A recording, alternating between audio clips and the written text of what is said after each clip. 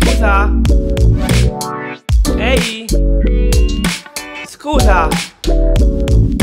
Ciao, hai mai pensato come vive una persona con disabilità? Per esempio, ti sei mai chiesta come percepisce le cose una persona ipovedente? Ipo che?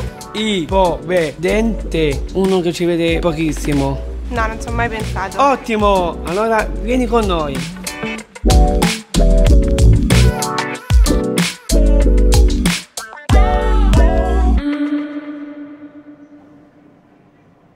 Nome e occupazione? Sono Anna, lavoro in un negozio di vestiti. Bene Anna, adesso ti facciamo provare questi occhiali speciali. In pratica simulano la percezione di una persona Dio, è ipovedente. tutto sfocato, non vedo niente. Mamma mia! Adesso Anna, prova a usare questo computer. E come faccio? È impossibile usare un computer senza vederci. Per i non vedenti e gli ipovedenti un grande aiuto arriva dalla tecnologia. Componi messaggio. Computer, smartphone e tablet sono dotati di assistente vocale che ne consente il pieno utilizzo.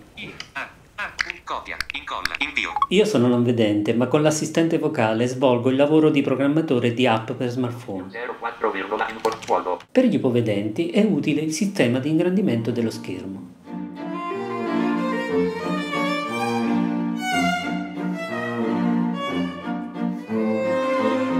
Ehi, ti sei mai chiesto come percepisce la realtà una persona con disabilità uditiva? Mm, No, Benissimo, allora vieni con noi. mi chiamo Biagio e faccio il restauratore. Bene Biagio, adesso ti mettiamo queste cuffie qua. Simulano elettronicamente la percezione di una persona con disabilità uditiva. Sasa, prova.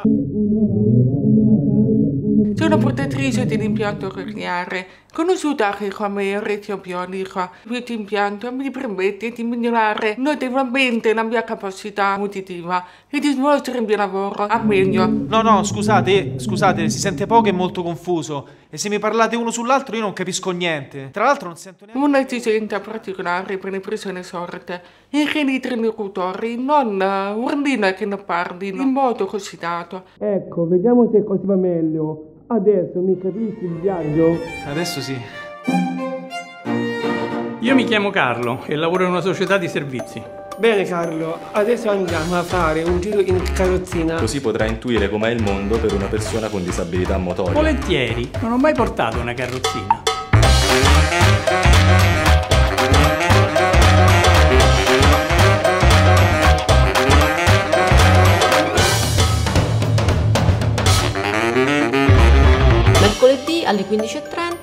Taglio e colore. Conferma? Grazie, buonasera. Io sono circa 30 anni che sono in carrozzina e tu non sai quante volte mi è capitato di non poter scendere dal marciapiede perché una persona irresponsabile ha parcheggiato la macchina male.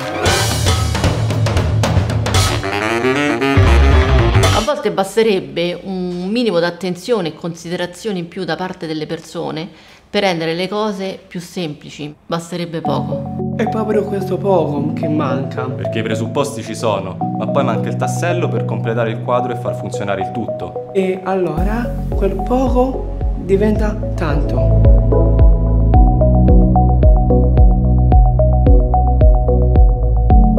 Grazie alla tecnologia, un non vedente con computer, tablet e smartphone può fare qualsiasi cosa, ma poi capita che viene assunto in un ufficio dove hanno un software aziendale obsoleto che risulta inaccessibile e lui resta tagliato fuori. Sarebbe bello che tutte le persone mi prendessero con tono pacato, sempre. Poi, a parte le difficoltà pratiche, c'è il problema del pregiudizio, che forse è anche più difficile da scalfire. Eh sì, perché c'è anche chi pensa che una persona con disabilità non abbia doti e risorse da mettere in campo. E poi ci sono disparità che riguardano la retribuzione e la possibilità dell'avanzamento di carriera, vere e proprie discriminazioni. La gente vede solo la disabilità e non considera la persona con le sue capacità. Ci sono molti pregiudizi in giro, te lo dico io. Uno magari non se ne rende conto, ma nei confronti dei disabili ci sono tanti pregiudizi, spesso anche nelle persone più in buona fede, soprattutto quando si tratta di disabili che lavorano. Ma che bisogno hanno i disabili di lavorare, poveracci? Chi glielo fa fare? Non prendono la pensione di invalidità, beati loro. Devono venire a togliere il lavoro alle persone normali? Secondo la legge, le aziende hanno l'obbligo di assumere un disabile, ma è una cosa giusta? Per l'azienda, intendo. E poi che lavoro gli fai fare? Vabbè, il cieco farà il centralinista oppure massaggi. Io sto già carica di lavoro per conto mio. Ti pare che devo pure perdere tempo a star dietro a uno di questi? Però dai, poverini, noi siamo fortunati, dobbiamo essere caritatevoli.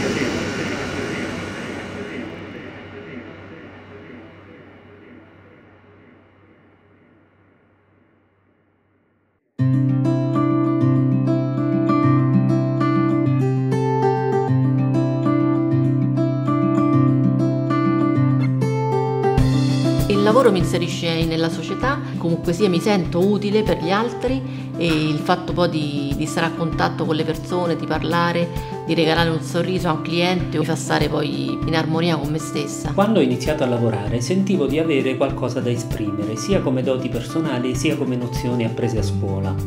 Il lavoro mi ha consentito di esprimere queste qualità. Il lavoro per una donna è una grande conflitta, specialmente con disabilità, perché doppiamente discriminata, purtroppo. Il lavoro a me mi fa andare oltre la disabilità perché diciamo che la, la gente ti vede in quanto disabile e basta, invece lavorando vengo considerata di più.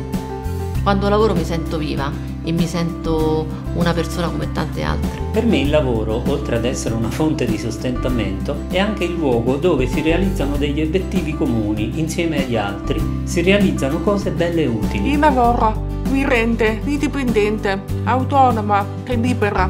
Non gravo sulle altre persone, sono indipendente a livello economico e vado avanti da sola. Di difficoltà ne ho avute tante, mi sono dovuto adattare ai mezzi che avevo a disposizione. Ho dovuto affrontare i pregiudizi degli altri, dimostrare che ero in grado sia di dare che di ricevere.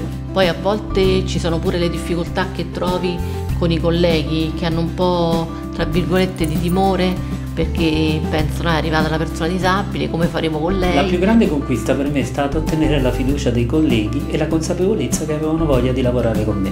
Ho una speranza, un cambiamento radicale della cultura, che è capace di eliminare tutti i pregiudizi, gli stereotipi.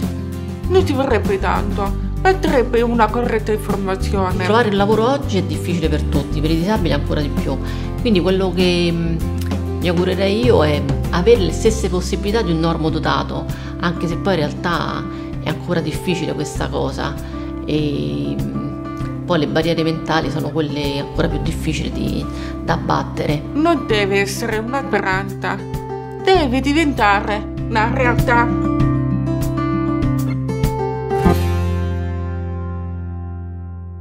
Allora ragazzi, com'è stata questa esperienza? Devo dire che ho scoperto tante cose che sinceramente non sapevo.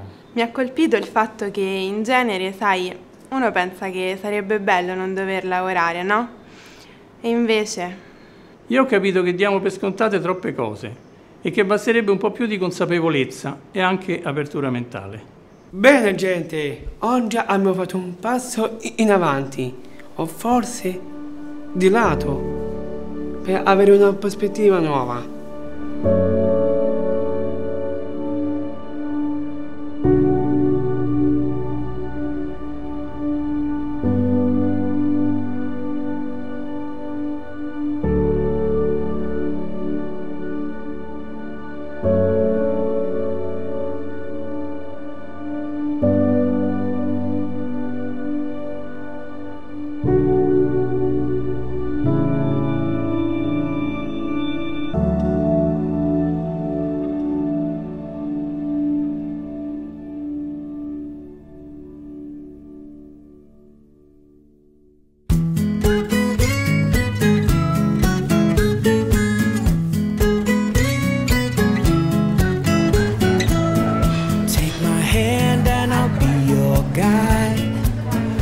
andando cignolo e rigatoni a ragù.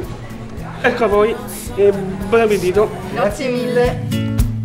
I've got the dreamer in me. Roses bloom and the sun will shine.